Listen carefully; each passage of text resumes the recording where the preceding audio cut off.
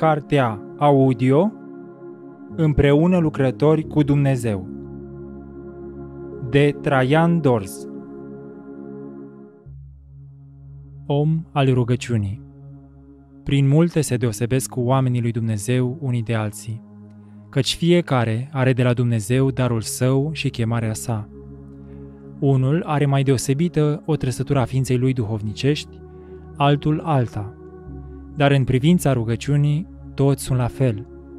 Căci pentru toți, rugăciunea este mijlocul prin care se primește Duhul Sfânt. Luca, capitolul 11, versetul 13. Rugăciunea este mijlocul prin care se primește înțelepciunea. Iacov, capitolul 1, versetul 5. Prin ea se primește sănătatea și iertarea. Iacov, capitolul 5, versetele 15 și 16. Prin ea se primesc copiii binecuvântați. 1 Samuel, capitolul 1, versetele de la 10 la 28. Prin ea se primește și se oprește ploaia. 1 Regi, capitolul 17, versetul 1, capitolul 18, versetele de la 42 la 44. Prin ea se sting flăcările focului. Numerii, capitolul 11, versetul 2. Prin ea se înlătură mânia și urgia pedepsei. Deuteronom, capitolul 9, versetele 18 și 19. Prin ea se pot face minuni.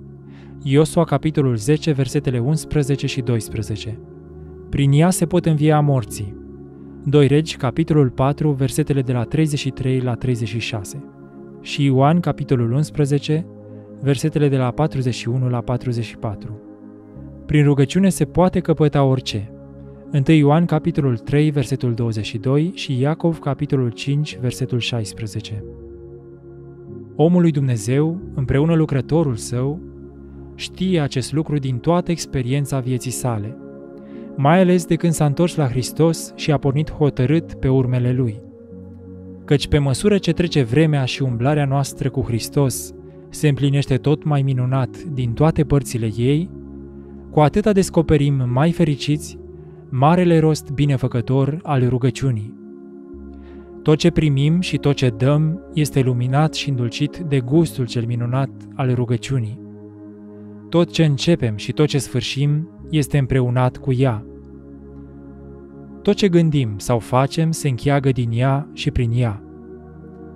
Tot ce semănăm și culegem, tot ce vrem să dăm lui Hristos sau semenilor noștri, tot ce moștenim sau lăsăm moștenire, tot ce ne mângâie, ne bucură, ne apără, ne îmbrățișează, ne încălzește și ne satură, se ține și se obține numai prin rugăciune.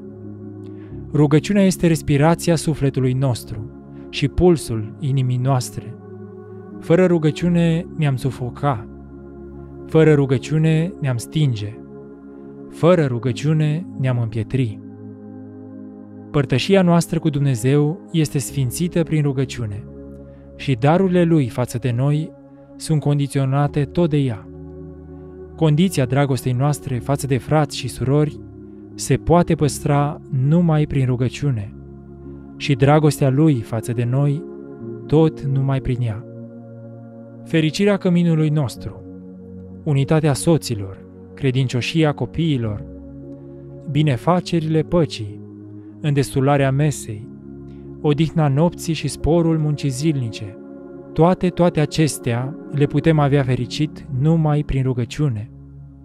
Înflăcărarea propovăduirii, lacrimile pocăinței, căldura adunării, mulțimea tineretului, sfințirea conducătorilor și dulceața cântărilor, creșterea ascultătorilor, libertatea cuvântului și binecuvântarea mamelor și a surorilor, curăția Duhului și izbânda Evangheliei. Toate, toate acestea le putem avea și păstra tot numai prin rugăciune. Frate lucrător al lui Hristos, dacă știai aceste lucruri și până acum, să le știi acum și mai bine.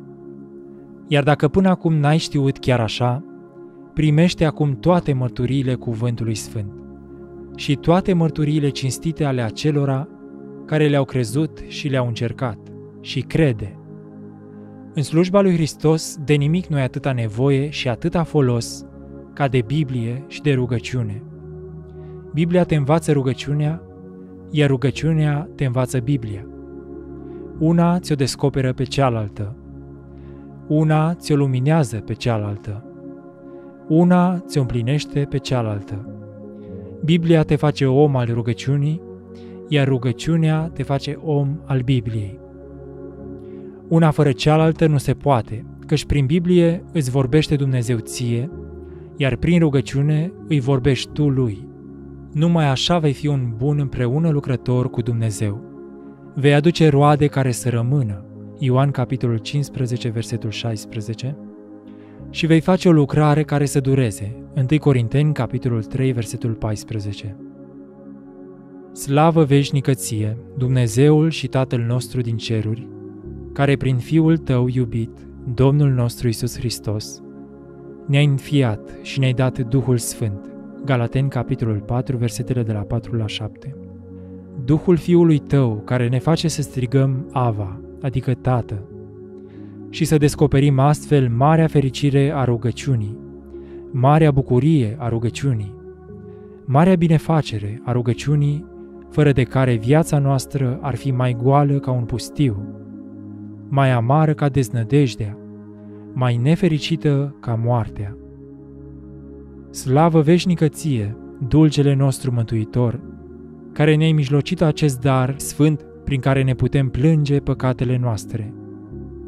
Ne putem primi iertarea, ne putem vărsa inima, ne putem despovăra conștiința, ne putem înflăcăra dragostea, ne putem stâmpăra sufletul.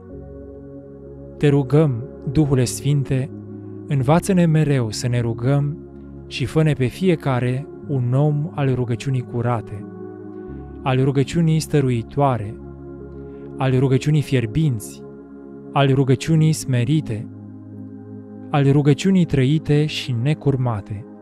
Amin.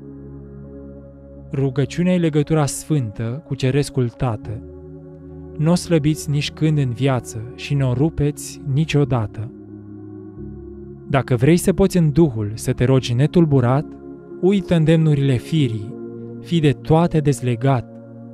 Adâncește-te în lumină, lasă-te de ea pătruns și nimic să nu te oprească până la harul cel ascuns. Rugăciunea nu poate petrece la oaltă cu păcatul, căci ori rugăciunea va omorâ păcatul, ori păcatul va omorâ rugăciunea. Părintele Iosif Trifa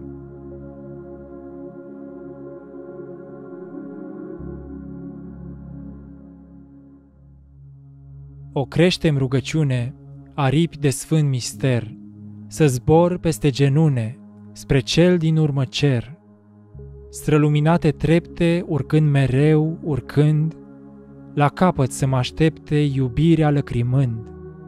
Să-mi cadă înfrântă firea de dincolo de vis, să-mi treacă doar sfințirea prin cerul larg deschis. La dulcile izvoare a dragostei sosit, să-mi aflu într-o cântare popasul nesfârșit. Ajută-mi rugăciune cât încă lupt și sui, să trec peste genune sfințit iubirii lui, iubirii și cântării din care cred și sper, spre clipa încununării din cel din urmă cer.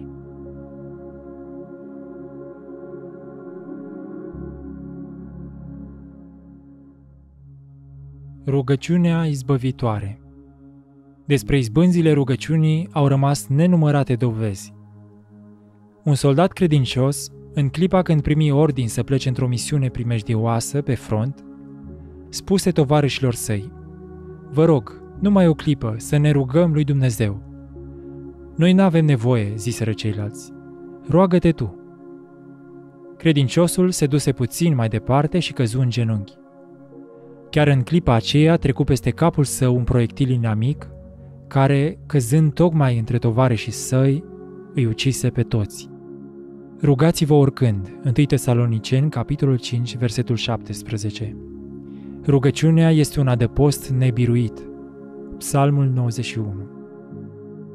Rugăciunea cea adevărată trebuie să aibă două daruri, pe Domnul Isus și jertfa crucii Lui și pe Duhul Sfânt cu focul cel ceresc. Rugăciunea cea cu putere este numai aceea care vorbește prin jertfa crucii de pe Golgota.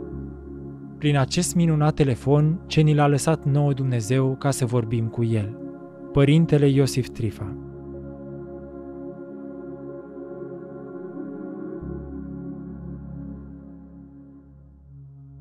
Ce spun Sfinții noștri părinți?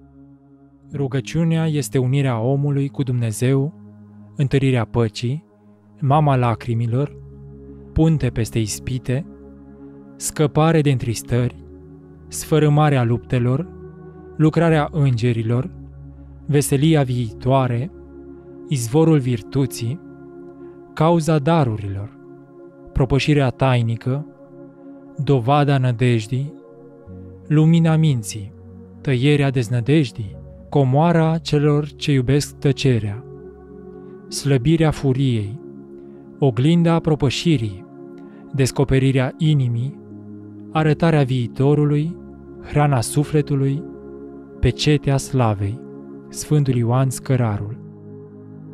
Cel ce ține minte răul nu se poate ruga curat, numai cel care îl iartă.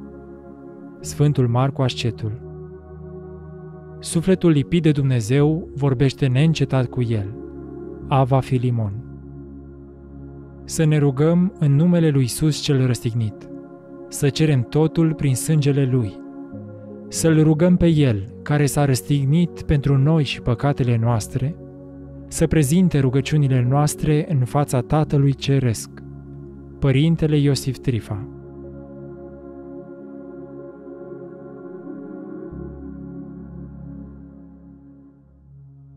În ceasul sfânt al serii, când stelele răsar, doresc al privegherii și al rugăciunii har.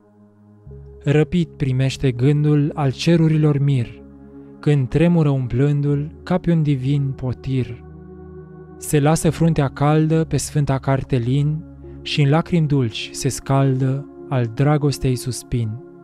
Și toate suie, toate, spre al inimii sfânțel, Iubirea doar mă poate înălța mai sfânt spre El. Învăluită în soare se ascunde fața Lui. Tot cerul e o chemare și zborul larg și sui. Un im slăvit e gândul, iar sufletul potir, și plouă fiorândul al harurilor șir. Și noaptea cine știe, spre al zorilor hotar, când fruntea grea în vie, înveșmântată în har.